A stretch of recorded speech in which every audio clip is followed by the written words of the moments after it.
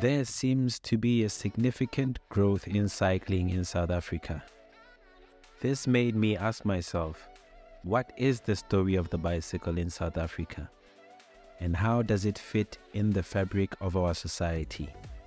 So, to answer these questions, I thought we should take a tour back in time.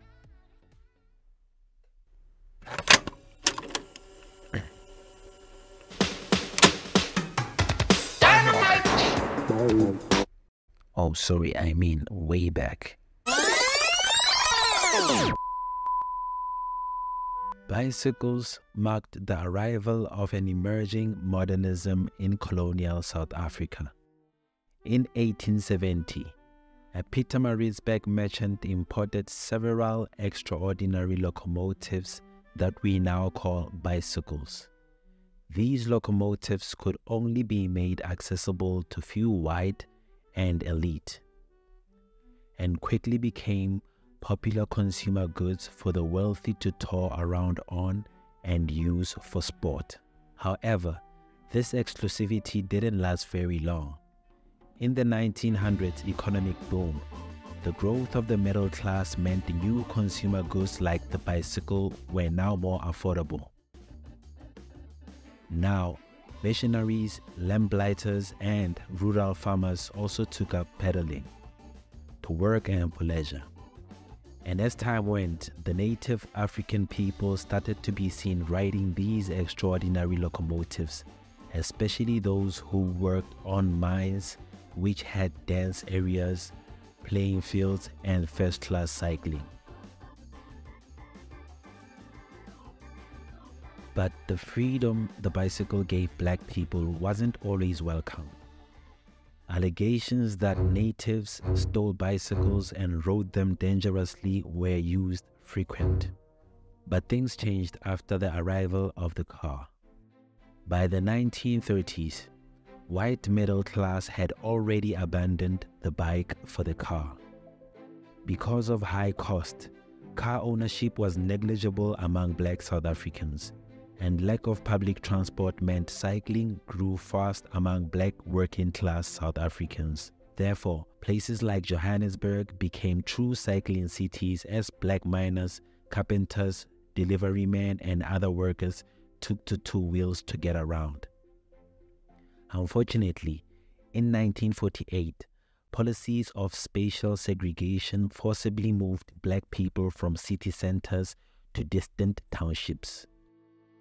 The distance between work and home was now dramatically longer, and cycling collapsed as an everyday practice. Throughout the 1990s, general cycling was almost entirely absent. Cyclists were more or less never seen on traditional transport roads.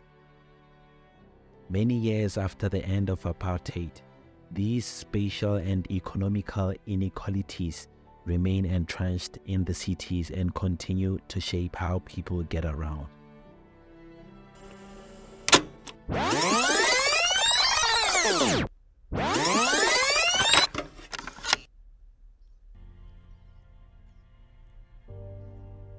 As a consequence, the National Coronavirus Command Council has decided to enforce a nationwide lockdown you. I think it's a filter. It, the... it is, and I don't know how to remove it. I've got my assistant here. She's trying to, but uh, I'm prepared to go forward with it. That's I'm here live. It's not. I'm not a cat. Across the world, the COVID 19 pandemic had not only forced people to change how they work and interact with each other, but also how they move means of collective transport was used much less and cycling became a reasonable option with a small risk of contagiousness. Though COVID-19 lockdown period was tough, it also revived the cycling culture. Since then, the culture of cycling has grown at a very fast pace the roads that have been mostly dominated by cars for many years are slowly changing form. New biking subcultures have emerged and these riders are repurposing the streets. They are using these spaces to express their individuality, freedom, and prowess.